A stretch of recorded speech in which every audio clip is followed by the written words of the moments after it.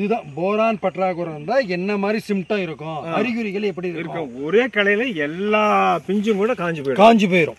காஞ்சு போய் கீழே கொட்டாது ஒட்டிக்கிட்டே ஒட்டிக்கிட்டே இருக்கும். அதுல கூட நிறைய இருக்குதுங்க போரான் போரான் பற்றாக்குறை. பற்றாக்குறை. அதுக்கு அடுத்தது மெக்னீசியம் பற்றாக்குறையும் சொன்னீங்க. மெக்னீசியம் பற்றாக்குறைக்கு என்னங்க என்ன பண்ணோம்னாக்கா. நம்ம வந்து நூறு லிட்டர் தண்ணிக்கு. ரெண்டு கிலோ மெக்னீசியம். ம். அதிகபட்சம். போட்டு ஸ்ப்ரே பண்ணலாம். ஸ்ப்ரே பண்ணலாம். ஆமா. அதாவது ஒரு தடவை இல்ல. ரெண்டு தடவை மூணு தடவை இது என்னென்ன ஸ்டேஜ்லங்க இது வந்து ஒண்ணு ரெண்டு இலை இப்படி வரும்போது. நம்ம வந்து ஸ்ப்ரே பண்ணி ஸ்ப்ரே பண்ண ஆரம்பிச்சிடணும். பண்ண ஆரம்பிச்சிடணும். ம், ம். அது வந்து நூறு லிட்டர் தண்ணிக்கு அரை கிலோ ரெண்டு கிலோ இல்ல.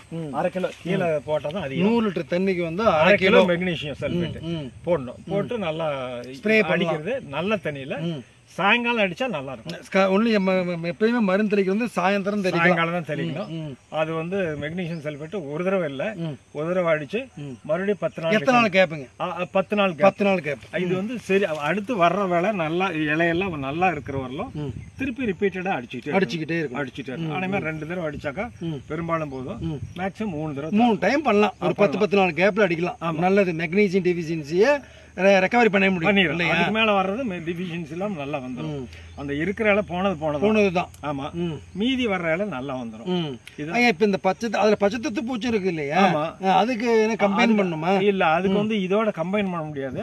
அது தனியா தான் வந்து ம். ப்ரிவென்டிவா வரதுக்கு முதல்லயே ம். வேப்பங்கொட்டை சாறு. வேம்பு சம்பந்தப்பட்ட எந்த மருந்தாலும் இருந்தாலும் சரி இது வந்து மார்க்கெட்ல கிடைக்குது. வேப்ப எண்ணெய் எண்ணெய். வேப்ப எண்ணெய் வந்து நூறு லிட்டருக்கு ரெண்டு லிட்டர் வேப்ப எண்ணெய். கலந்துக்கணும். வேப்ப எண்ணெய் கலந்துக்கிறதுல ஒரு எச்சரிக்கை என்னன்னா. தண்ணியும் வேப்ப எண்ணெயும் கலப்படம் கலப்படாகாது அது கலப்படம் ஆகிறதுக்கு. கதர் சோப்பு காதி காதி அதை நூறு கிராம் போட்டு காதி சோப்பு. நல்லா மிக்ஸ் பண்ணிட்டாக்கா. தண்ணியும் வேப்பெண்ணையும் மிக்ஸ் ஆகணும் நல்லா மிக்ஸ் ஆகும் ஆமா அதுக்கு தேவையான அளவுக்கு. காதி சோப் போட்டு. கலந்து அப்புறம் ஸ்ப்ரே பண்ணணும். இந்த தயாரிப்பு கரெக்ட் தானான்னு பாக்குறதுக்கு ஒரு டேங்க் அடிச்சுட்டு. அடுத்த நாள் மீதி பண்ணிக்கலாம். ஏன்னா இவங்க தயாரிப்பு ஒரு வேளை ஒரு ஆ, அதிகமா இருக்கலாம். அதிகமாயி கான்சன்ட்ரேஷன் அதிகமாயிருச்சுன்னு வச்சுக்க. இலை கருகிறதுக்கு வாய்ப்பு வாய்ப்பு இருக்கு. வாய்ப்பு. வாய்ப்பு இருக்கு அதுக்காக ஒரு டேங்க் போட்டு அடிச்சு பார்த்துட்டு. அடுத்த நாள் வந்து அடிச்சுக்கலாம். பூரா அடிச்சுக்கலாம். நம்ம எந்த புதுசா அவங்க விவசாயம் செய்யும் போது. ஒரு டேங்க் சிம்பிள் சாம்பிளுக்கு பண்ணி பார்க்கணும். எப்படி ரியாக்ட் பண்ணுது? இந்த பிளான்ட் வந்து அக்செப்ட் பண்ணுதா. ஏத்துக்குதா? இல்லையான்னு தெரிஞ்சுக்கிட்டு. அடுத்த நாள் நல்லாவே அடிக்கலாம். அடிக்கலாம் அடிக்கலாம். இது ரொம்ப முக்கியம். ஒரு சிலர் தெரியாம சோப்பு கரைசல் இல்லாம தண்ணி இதுவும் கலங்காது. கலங்காது. மேல வந்து வேப்பெண்ணெய் மதக்கம். ம். வேப்பெண்ணெய் டைரக்டா இலையில பட்டா இலை கருகிரும் இலை கருகிரும். அது இதுக்கெல்லாம் தான் பிராக்டிகலா அனுபவமா. அனுபவமா செய்யணும். இது வந்து தத்துப்பூச்சிக்கு உண்டான இது. இது. தத்துப்பூச்சி இருக்கா? நம்ம அடிக்கடி பார்த்துட்டு இருக்கணும். தத்துப்பூச்சி எங்க இருக்கும்னா இங்க தான் இருக்கு. இங்க இலையின் அடிப்பாகத்துல அதை பாருங்க. பாருதா தெரியுதுங்களா? இது இங்க தெரியுது பாருங்க. பச்சையா ஓடுது பாருங்கதா வா. இதான் பச்சை தத்து பூச்சி இதுதான் இல்லைங்களா?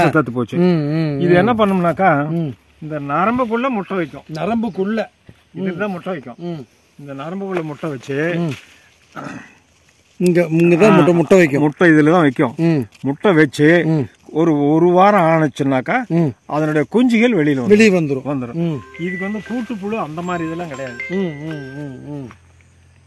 அந்த மாதிரி கிடையாது. அது வெளியில வந்ததும். முதல்ல கொஞ்சம் மஞ்சள் கலரா இருக்கும். அப்புறம் பச்சை கலரா மாறும். அப்புறம் அதுக்கு பிறகு நல்லா ரெக்கம் வந்த பிறகு. குதிச்சு குதிச்சு போய் செடி பூரா பரவும். இது பாத்தீங்கன்னாக்கா ம். சராசரி ஒரு இலைக்கு ஒண்ணு இருந்தாவே. நம்ம பயிர் பாதுகாப்பு நடவடிக்கை எடுக்கணும். உடனே ஆரம்பிச்சிடணும். ஆரம்பிச்சிடணும். அப்ப வந்து விவசாயிகள் வந்து இந்த பயிரை வந்து கண்காணிக்கணும் முதல்ல. பார்த்துக்கிட்டே இருக்கணும். இதுதான் முக்கியம். அது பார்த்துட்டே இருந்து இது இப்படி தெரிஞ்சதுன்னா. உடனே பயிர் பாதுகாப்பு நடவடிக்கை எடுத்துடணும். இந்த வெயில்ல பாருங்க நிறைய எல்லா செடியிலயும் தத்து பூச்சி எல்லா இருக்குது இருக்குது மெக்னீசியம் டெஃபிஷியன்சி இருக்குது போரான் டெஃபிஷியன்சி இருக்குது. அது இருக்குது. எல்லாமே இருக்குது. எல்லாம் இருக்குது. இதுல பார்த்தாங்க தூரம் இருந்து பார்த்தாவே ம். இலையெல்லாம் பாருங்க இப்படி மடங்கி போய் மடங்கி போய் கீழ் நோக்கி மடஞ்சிருக்குது கீழ். நோக்கி மடங்கி இருக்கு. Maximum இது எல்லா.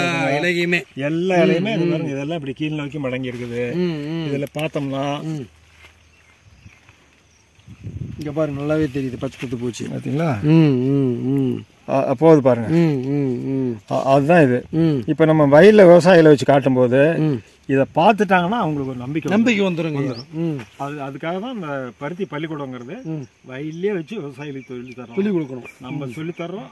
அவங்க பார்த்துட்டு அவங்களே தெரிஞ்சுக்குவாங்க. சந்தாயம் தான் இங்கேயே நம்மகிட்ட கேட்டுவாங்க நிவர்த்தி ஆயிரும். நிவர்த்தி ஆயிடும் ம். அதுதான் மற்ற பயிற்சிக்கும். பருத்தி பள்ளிக்கூடத்துக்கு உண்டான வித்தியாசம். வித்தியாசம். இது நம்ம சாதாரணமா சொல்றது கேட்கறது ஒரு விஷயத்த அதையே பார்க்கறது. அதை செஞ்சு பார்க்கறோம் அப்படிங்கும்போது தான் நமக்கு நம்பிக்கை வரும். எல்லாத்துக்குமே எல்லாமே. எல்லாமே. சும்மா கேட்டுக்கிறது. பார்க்கறது செஞ்சு பார்க்கறது. இது மூணுல செஞ்சு பார்த்தால் நல்லா இருக்கும் நல்ல ரிசல்ட். இப்போ கேட்கறாங்க இங்க வந்து பார்க்கறாங்க. சந்தேகம் வரும். சந்தேகம் வரும். பார்த்துட்டு செயல் செய்யும் போது நல்ல ஒரு ரிசல்ட் கிடைக்கும். கிடைக்கும். இதுதான் தத்துவமே ம். கேட்கறது பார்க்கறது, செய்யறது. இது இது மூணு மூணையும் அடாப்ட் பண்ணணும் ஒவ்வொரு விவசாயியுமே இதே தான் விஷயங்க. இதை தெரிஞ்சிட்டாலே எல்லாம் சக்சஸ் ஆகுங்க. இது வந்து நுண்ணூட்ட சத்து பற்றாக்குறை பயிர் பாதுகாப்புல தத்து பூச்சிகளுடைய தாக்குதல்.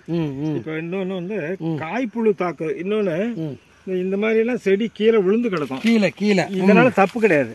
இது மெச்சூர் ஆக ஆக கீழே விழுந்துரும். கீழே விழுந்துரும். விழுந்துரும். அதனால நம்ம அதை பொறுத்து ஒன்றும் இலையெல்லாம். ஆமா இலையெல்லாம் கொட்டிரும். அது அடுத்த பயிருக்கு எருவா போகும். அதனால தவறு கிடையாது.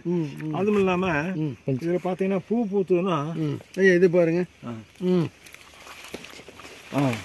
பாருங்க. இங்க பாருங்களேன். எல்லாம் கொட்டி கிடக்குது பாருங்க. ஆமா ஆமா. இந்த இலை இதெல்லாம் அடுத்த பயிருக்கு எருவாகும். எருவாகும். எருவாகும். மக்கி. பருத்தி போடுறதனுடைய சிறப்பு இது இ- இதனால அடுத்த பயிருக்கு எருவு கிடைக்குது. இதை வந்து பருத்தியெல்லாம் எடுத்துக்கிட்டு ரொட்டவேட்டர் போட்டு ஓட்டும் போது மண்ணுக்கு இது மண்ணுக்கு வந்து எ- இயற்கை உரமா உரமா மாறிடுது மாறுது. ம் ம். இன்னொன்னு என்னன்னு கேட்டாக்கா பருத்தி வந்து எந்த வகையிலுமே மண்ணை பாதிக்காது. மண்ணை பாதிக்காது. இது இதுல ஒண்ணு சத்து சேர்ந்துருது. அதுக்கு அடுத்தது மண்ணுல போட்டு ஓட்டிடுறோம். அது எவ்வளவு சத்து எடுத்துக்குதோ கிட்டத்தட்ட அதுல பாதி பங்கு மண்ணுக்கு சேர்ந்து மண்ணுக்கு சேர்ந்துருது. சேர்ந்தது. அதனால பருத்தி போட்ட வயல்ல. அடுத்து எந்த பயிர் போட்டாலும் நல்லா வரும். வரும். அது சிறுதானியங்கள் போட்டோம்னா மக்காசோளம் மாதிரி இருக்கிற சிறுதானிய பயிர்கள் போட்டோம்னா நல்லா வரும். நல்லா வரும். வரும். மக்கா